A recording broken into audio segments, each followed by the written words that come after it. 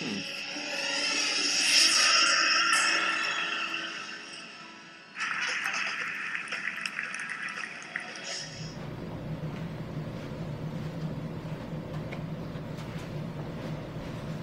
morning. Welcome to our group's TED Talk. We're going to be discussing the case, the Cola Wars, for you today, and we hope to answer four intriguing questions. The first being, why historically the industry been so very successful? Secondly, we're going to compare and contrast the economics between the bottlers and the concentrate manufacturers. And thirdly, we're going to analyze the competition between Coke and Pepsi and how it's actually affected the industry profits. And then finally, we're going to talk about whether or not Coke and Pepsi can sustain their profits in the wake of ever flattening demand and the introductions of new and alternative beverages into the marketplace. So sit back and enjoy little bit of our flavor.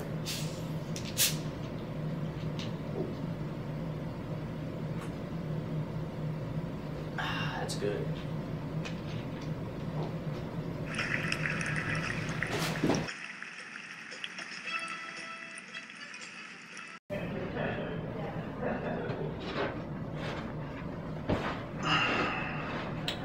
Coca-Cola was formulated in 1886 by John Pemberton, pharmacist in Atlanta, Georgia, who sold it to drugstore soda fountains as a potion for mental and physical disorders. A few years later, Asa Candler acquired the formula, established a sales force, and began brand advertising of Coca-Cola. Tightly guarded in Atlanta bank vault, the formula for Coca-Cola syrup remained a well-protected secret. Candler granted Coca-Cola's first bottling franchise in 1899 for only $1, believing the future of the drink rested with the soda fountains. However, the company's bottling network grew quickly, reaching 370 franchises by 1910. In its early years, Coke was constantly plagued by imitations and counterfeits, which they aggressively fought in court. 153 imitations of Coca-Cola were barred by the courts in 1916 alone. Coke introduced and patented a unique 6.5 skirt bottle to be used by its franchises that subsequently became an American icon. Robert Woodruff became the CEO of Coca-Cola in 1923 and began working with franchise bottlers to make Coke available wherever and whenever a consumer might want it. He argued that if Coke were not conveniently available when the consumer was thirsty, the sale would be lost forever. During the 1920s and the 1930s, Coke pioneered open-top coolers to storekeepers, developed automatic fountain dispensers, and introduced vending machines. Woodruff also initiated lifestyle advertising for Coca-Cola, emphasizing the role of Coke in the consumer's life. In addition, Woodruff developed Coke's international business. During the beginning of World War II, at the request of General Eisenhower, he promised that every man in uniform gets a bottle of Coca-Cola for five cents wherever he is and whatever it costs the company. Coca-Cola bottling plants followed the movements of American troops. 64 plants in total were set up during the war. This contributed to Coke's dominant market share in most European and Asian countries. Pepsi-Cola was invented in 1893 by a North Carolina pharmacist, Caleb Bradham. Like Coke, Pepsi adopted a franchise bottling system and by 1910 it had built a network of 270 franchise bottlers. Pepsi struggled, however, declaring bankruptcy in 1923 and again in 1932. Business began to pick up again in the midst of the Great Depression when Pepsi lowered the price of its 12 ounce bottle to a nickel, the same price Coke charged for its 6.5 ounce bottle. In the late 1930s, Pepsi tried to expand its bottling network through small local bottlers striving to compete with wealthy Coke franchises. Pepsi nevertheless began to gain market share. In 1938, Coke filed a lawsuit against Pepsi, claiming Pepsi-Cola was an infringement on the Coca-Cola trademark. The court ruled in favor of Pepsi in 1941, ending a series of suits and countersuits between the two companies. With its famous Radio jingle, twice as much for nickel too, Pepsi's U.S. sales surpassed those of Royal Crown and Dr. Pepper in the 1940s, trailing only to Coca-Cola. In 1950, Coke's share of the U.S. soft drink market was 47%, and Pepsi's was 10%. Hundreds of regional soft drink companies continue to produce a wide assortment of flavors.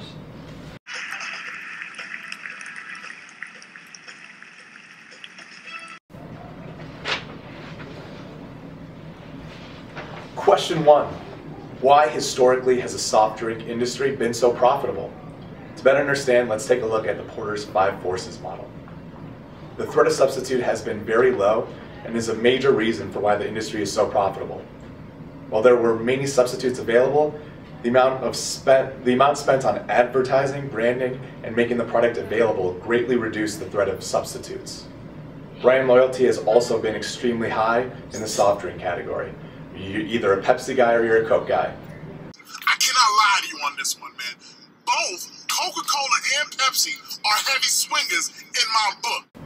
The threat of new competitors has been low in the industry. This can be attributed to the franchisee agreements with the bottlers, which prohibits bottlers from working with competing products. Anyone trying to enter this industry is going to have an extremely difficult time finding distribution. The marketing and advertising spending in the industry are also very high because of the Pepsi-Coke rivalry.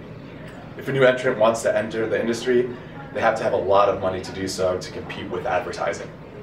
Retailer shelf space would also be very hard for new entrants to obtain.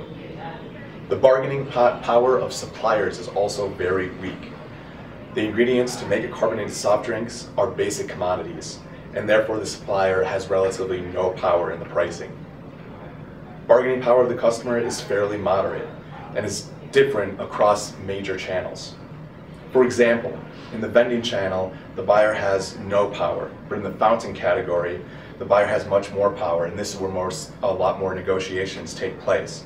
And this illustrates why Coke and Pepsi have such low margins in these channels. Rivalry in the industry is obviously extremely intense. Pepsi and Coke are competing head to head, and this is actually forcing the industry to become more profitable, as we'll explain later. There are other things that are also driving the profitability. Demand for cola was increasing as US consumption rose and bottling innovations. Distribution networks have also increased the availability. These are the reasons why the industry has been so successful. So basically to summarize, the threat of substitutes is low, the threat of new competition is low, the bargaining suppliers, the bargaining power of suppliers is weak, and the bargaining power of the customers is moderate. For these reasons, it's a very profitable industry.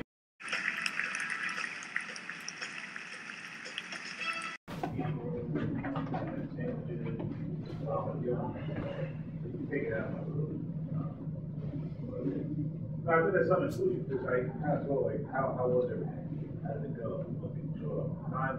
Oh, no, that's not. Sorry, tasty. Question number two is comparing the economics of concentrate business to the bottling business and discuss around why the profitability is so different. So first we'll take a look at the concentrate business just in general. Uh, there's a lot less capital involved with setting up a plant to produce and distribute concentrate. Uh, really, you just need one plant in a country, uh, and you can just produce all your concentrate into packages, ship them off to your bottlers throughout the country. Roughly, the cost is 25 to 50 million dollars uh, to set up a plant. Um, the costs involved with concentrate, besides producing, are advertising, promotions, they conduct research, and a lot of bottler support. So for example, they negotiate the customer distribution agreements for the bottlers uh, on their behalf. The bottling industry, on the other hand, needs to be a lot more segmented. You can't just have one bottling uh, organization located somewhere. They're dispersed throughout the country, and they receive the packaging from the concentrate business, and then they add the carbonated water, they package it into a bottle or a can, and then distribute it to their to their clients. Um, it's a lot more capital intensive, four to ten million dollars per bottling plant to operate in a single line. Um, and there has been a long, there has been a significant decrease in the amount of bottling plants throughout the United States. In 1970, there was 2,000 bottling plants roughly uh, spread across the country, and today, well, 2004, there's 300 bottling plants. So the question is, what is the relationship between these concentrate producers and uh, the bottlers. Really, they're very dependent upon each other. Uh, so just a quick look at their their costs. Um, for the concentrate business, COGS is 17% of their profits, while the bottler is 16% of their of their sales, which leaves a gross profit margin of 83% for the concentrate business and 40% for the bottler. So you can see immediately that the concentrate business is much more profitable. But where they end up forking over a lot more of a cost is with their advertising. Their advertising is 43% of the gross margin, and the bottler's only 2%. So you can really see they pick up the slack in that area in order to keep the bottlers up and running. So that leaves a pre-tax profit of the concentrate business of 30% and the bottle business of 9%. So lastly, we're going to talk about the added value brought both by the concentrate producers and the bottlers. So for the concentrate producers, their biggest source of added value is their product, is their intellectual property behind what they're making. Uh, we, we know with Coke, it's all intellectual property. They don't have uh, they don't have patents on their product. So there's only a select few individuals that know what their product actually entails. And they pulled out of a billion dollar market or a billion person market in India uh, specifically to protect that intellectual property.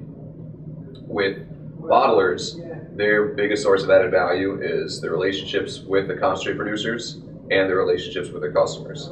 So they put in contracts in place both with the concentrate producers and with their customers. And with the concentrate producers, what that does is essentially develop a little oligarchy and spread out throughout the United States with individual contracts with these with these concentrate producers. And then with their suppliers, they are, or with their customers, they're continually renegotiating the contracts and they're developing long-term relationships, which really does provide a lot of value for bottlers.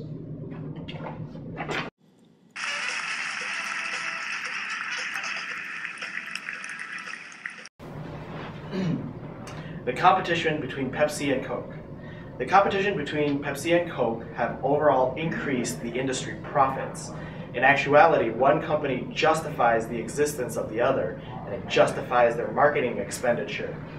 Uh, the feeling is summarized by former Pepsi CEO Roger Enrico. He says, if the Coca-Cola company didn't exist, we would pray for someone to invent them. And on the other side of the fence, I'm sure the folks at Coke would say that nothing contributes as much to the present day success of Coca-Cola than Pepsi. This shows the feeling that one company really needs the other one, and that together they're working to grow the overall pie, the overall market share of the CSD industry. The competition between Coke and Pepsi has also spurred innovation and new methods, as highlighted earlier. We talked about the lifestyle marketing, where Pepsi had their Pepsi Generation marketing campaign, and Woodruff, the former CEO of Coke, also had their Coca-Cola lifestyle marketing campaigns. Also, the innovations led to bottler consolidation by both industries, Coke really beginning in the 1980s, and by 2004, Coca-Cola had consolidated its bottling operations and produced 95% of its own, while Pepsi had consolidated 87% of its bottling operations.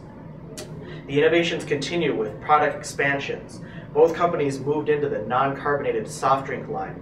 And these included juices, sports drinks like Gatorade and uh, Powerade, energy drinks, tea, and water. And eventually, from product expansion, both companies also moved into international expansion.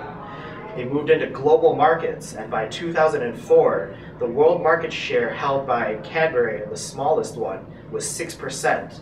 Pepsi had a world market share of 22%, and Coke in 2004 had a world market share of 51%. So overall, the competition between the two companies had led to a lot of developments, including product ex extensions and market extensions into the international market.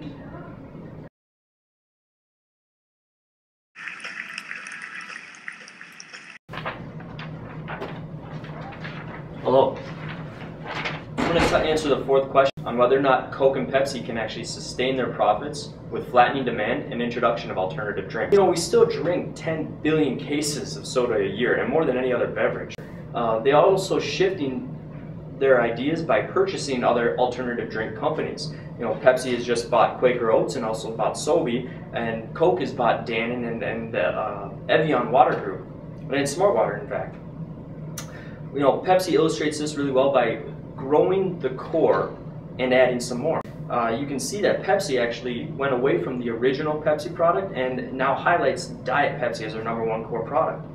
And just the market demand alone for diet soft drinks has increased from 1997 to 2004 from 24.6% to 29% and kind of makes up for the regular soda production loss. So, although the years may change, the flavor of the soda remains the same, and alternatives, however, are becoming more prominent. I mean, let's talk about Gatorade, Powerade, Lipton, Nestea, Tropicana, Minute Maid, but Sobe, Smartwater, Dasani, Aquafina, and Evian. All these are positioned to offer more uh, uh options to customers. Coke gains about 70% of their sales volume now from outside the US and 80% of their overall profits.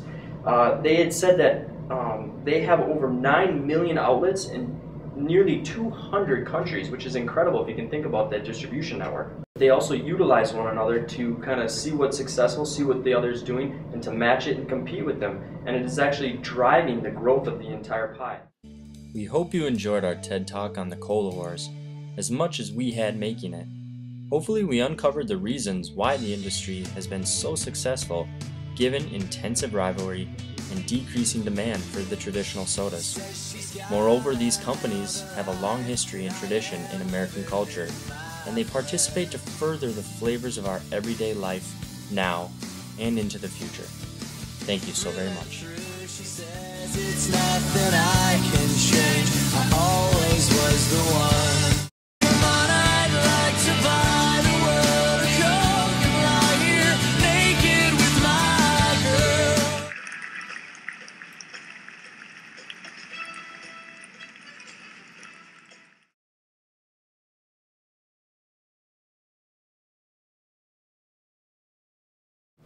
Coca-Cola was formulated in 1886 by John Pemberton, a pharmacist in Atlanta, Georgia, who sold it at drugstore fountains as a potion for mental and physical disorders. Cola in 1923 and began working with franchise bottlers to make Coke available wherever and wherever and whenever the consumer might want it.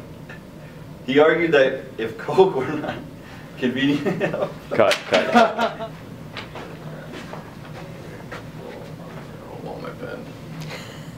Actually, I do. I like. I like being like Kobe. There's 300 bottling plants. So while they have been um, um, conglomerating, while they have been uh, while they've been downsizing the number of plants, they're still pretty well spread throughout the country. The marketing and advertising spending in this industry are also extremely high. A little louder, Mike. Because of the, sorry, the marketing and advertising.